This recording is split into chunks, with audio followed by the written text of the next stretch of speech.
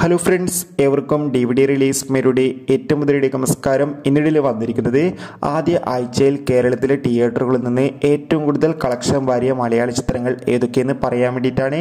വീഡിയോയിൽ മുൻപ് video like ചെയ്യുക ചാനൽ സബ്സ്ക്രൈബ് ചെയ്യുക. ഈ വരുന്ന ഓഗസ്റ്റ് മാസം ഇനി ഒ ടി ടി റിലീസ് ചെയ്യാൻ പോകുന്ന ഡേറ്റ് കൺഫേം ആയ ചിത്രങ്ങളുടെ വീഡിയോ നമ്മുടെ ചാനൽ പരിശോധിച്ചാൽ നിങ്ങൾക്ക് കാണാൻ വേണ്ടി സാധിക്കുന്നതായിരിക്കും. അപ്പോൾ ഒട്ടുമിക്കാതെ ഇന്നത്തെ വീഡിയോയിലേക്ക് പോകാം. പല മലയാള ചിത്രങ്ങൾ ഇപ്പോൾ ഇതാ കേരളത്തിൽ റിലീസ് ചെയ്തിട്ടുണ്ടായിരുന്നെങ്കിലും പല ചിത്രങ്ങളും ഹിറ്റാകുകയും ഫ്ലോപ്പ് ആകുകയൊക്കെ ചെയ്തിട്ടുണ്ട്. എന്നാൽ ഏറ്റവും കൂടുതൽ കളക്ഷൻ വാരി ചിത്രങ്ങളിൽ പട്ടികയിൽ ഒന്നാം സ്ഥാനമുള്ളത് ലൂസിഫർ ആണ്. ലൂസിഫർ എന്ന ചിത്രത്തിന് ആദ്യത്തെ ഒരാഴ്ച കൊണ്ട് തന്നെ കേരളത്തിലെ തിയേറ്ററുകളിൽ നിന്ന് അമ്പത്തി മൂന്ന് കോടി രൂപ കളക്ഷൻ നേടിയെടുക്കാൻ വേണ്ടി സാധിച്ചിട്ടുണ്ടായിരുന്നു.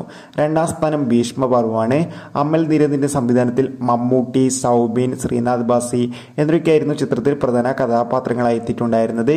ചിത്രത്തിന് ആദ്യത്തെ ഒരാഴ്ച കൊണ്ട് തന്നെ നാൽപ്പത്തി ആറ് കോടി രൂപയും പട്ടികയിൽ മൂന്നാം സ്ഥാനമുള്ളത് ദുൽഖർ നായകനത്തെ കുറുപ്പ് എന്ന ചിത്രമാണ്.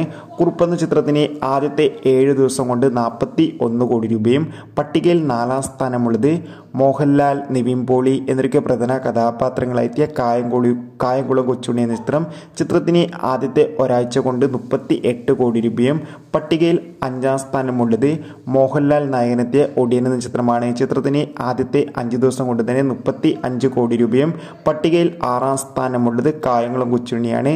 നിവിൻ പോളി മോഹൻലാൽ എന്നിവയ്ക്കാണ് ചിത്രത്തിൽ പ്രധാന കഥാപാത്രങ്ങളായി എത്തിയിട്ടുണ്ടായിരുന്നത്. ചിത്രത്തിന് ആദ്യത്തെ ഒരാഴ്ച കൊണ്ട് തന്നെ മുപ്പത്തിരണ്ട് കോടി രൂപയും കളക്ഷൻ നേടിയെടുക്കാൻ വേണ്ടി സാധിച്ചിട്ടുണ്ട്. പട്ടികയിൽ ഏഴാം സ്ഥാനമുള്ളത്.